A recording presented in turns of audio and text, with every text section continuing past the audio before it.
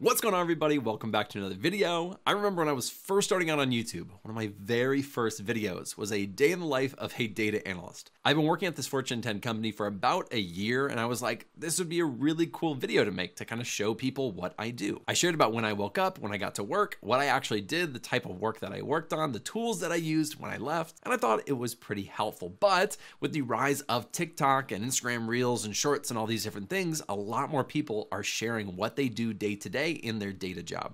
Come spend a day in a life with me as a data analyst in New York. Got to the office a little after 9 this morning. Today was pretty light on meetings, so I was able to go heads down for most of the day to get some work done. So went through Bryant Park to get some lunch, and if I'm in the office, there's a really high chance that I'm eating at Cava. After work, I went to an open house because I'm thinking about moving. That is an entirely separate video, but the one thing I've learned about apartment hunting in the city is that you can't have everything. Stopped by my friend's place to see her new puppy, and I'm not sure if you guys remember that crane that fell on an apartment building. He's not working. But that was my friend's apartment. Finally, capped off the day with a late night tennis session back in Brooklyn.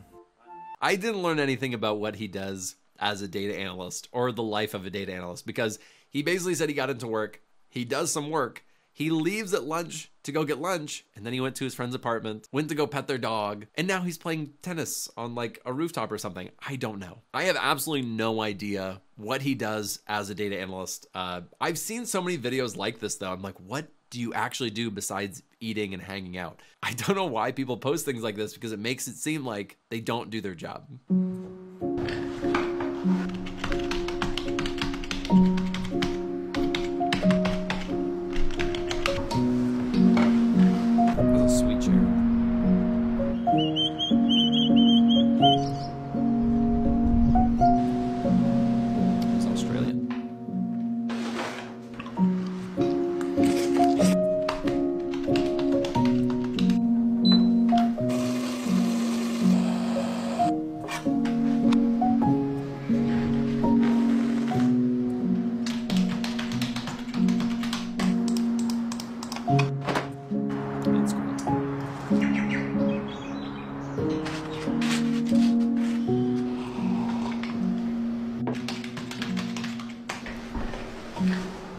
So in this one, I feel like I actually got some sense of what he does. And I thought it was cool that he added some of his background as well, because he used to work in a call center, but then he broke into data analytics. I don't know why, but the music kind of made me sad. I felt like he was very lonely. I don't know if he, you know, he lives alone and he's just working from home all the time. And that's why he was going on the long walk. It is nice when you work from home because I also work from home. It's nice when you get to go out and do something else other than just sit at a desk all day. But it seemed like this dude had a great setup, especially with his coffee and his food and the work and, you know, working in sequels. Like this guy has a sweet setup. I'm a data analyst. I'm in extreme darkness. Why? I don't like data analysts. So don't do it. but the only problem is the visa status and all uh, to maintain all that. Every day I wake up, it's it's extreme pain. Well, then you should go back. Life's about choices. Choose the extreme pain for the visa, or you could go back. To be with my parents. Uh, there are so many things. Those are not the two worst options. All right, geez. This guy was like, I work as a data analyst. I'm in extreme darkness and pain. Like, whoa.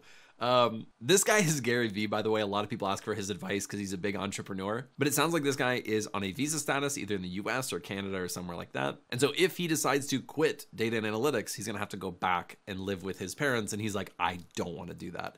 And I get it. I love my parents, but I wouldn't want to live with them either. But I will say some people who work as a data analyst, and I've met them, do not like data. They're like over it. They're like, this sucks. I hate this. This is like the worst thing ever. And that's like every single day for them. That is their day in the life of a data analyst. It's not fun. They don't enjoy it. And so for some people, that is like not the career path for them. It sounds like this dude is like, that is not what he wants to be doing. Bro,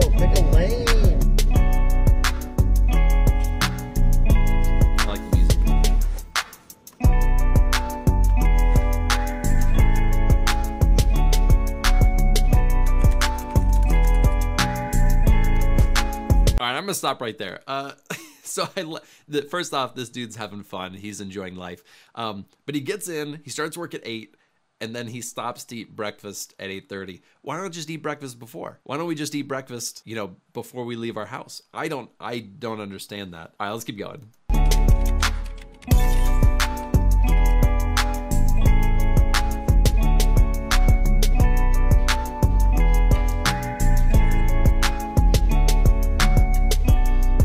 Right, so I don't think that was a full day. It just went till like lunch, but he was working on things like SQL stored procedures and some machine learning data, and then whiteboarding and like mapping things out.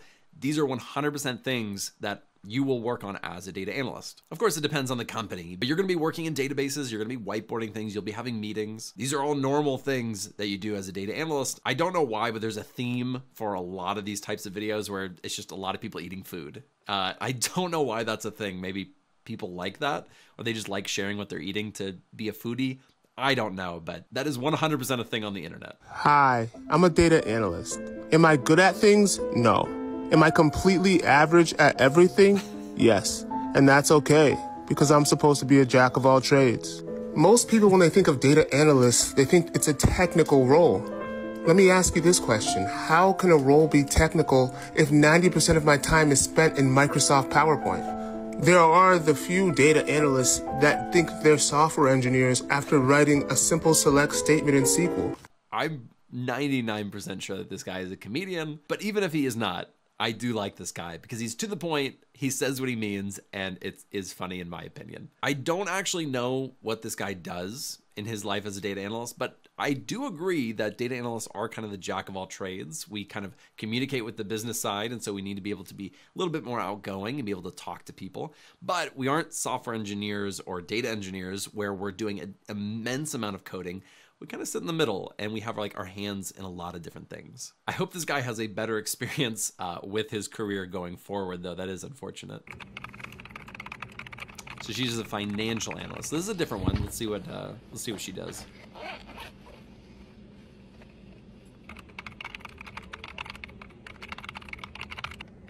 Another person eating breakfast. I, I don't. A lot of food. A lot of food in these videos. Five. They're definitely star, but then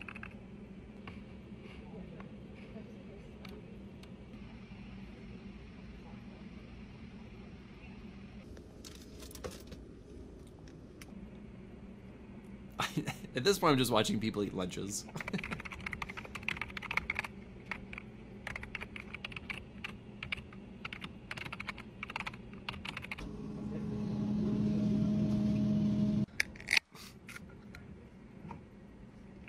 Is that just the ones that aren't in the spreadsheet yet?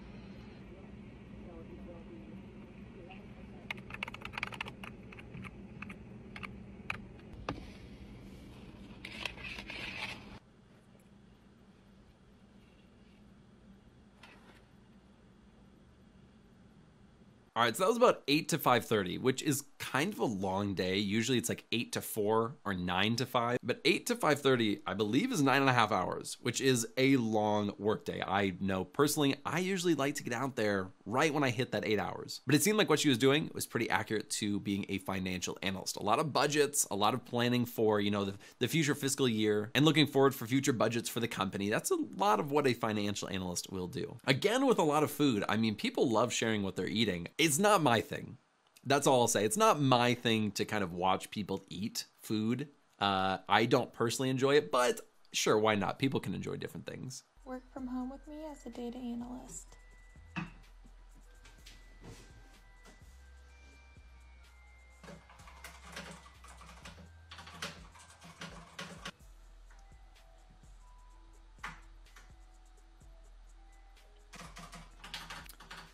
Everything so far looks very accurate. More food. Oh, she's got a standing desk. I never had. Uh, no, I did have one of those, uh, but I never used it standing up. I didn't like it that much.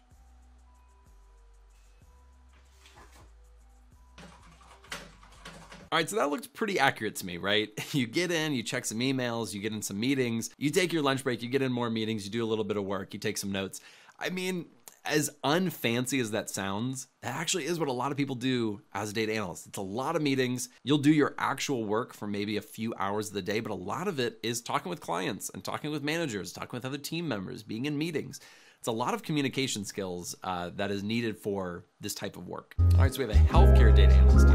I don't wanna give no ultimatum. If you wanna come lay up, if you wanna come stay up, if you wanna come pay up, but you know you got work in the morning, then wake up yawning, trying to keep up with a real no. At least for today, at least you can stay for as long as you care, babe. As long as you wanna, everything's All right, so it sounds like she just responds to a lot of emails, which isn't wrong. I remember I get tons of emails, and that's what I would do for the first like hour of the day usually when I logged in. It would just be responding to clients, responding to my manager, responding to my project manager, all these different things. And then she did some data verification, which who knows, you know, what she was actually working with, but data verification, just making sure that the data is correct, it was sent how it was supposed to send, all these different things. That's absolutely something that you will do, but I don't usually answer emails for the entire day. Uh, that is, in my opinion, a bit excessive, but that maybe is just her job. Some of those I found very accurate. Some of them just were all about the food, and I didn't understand it at all because most jobs you actually do work.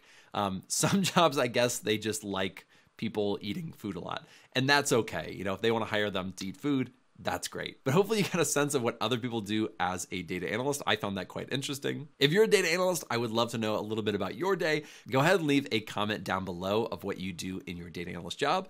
If you like this video, be sure to like and subscribe, and I will see you in the next video.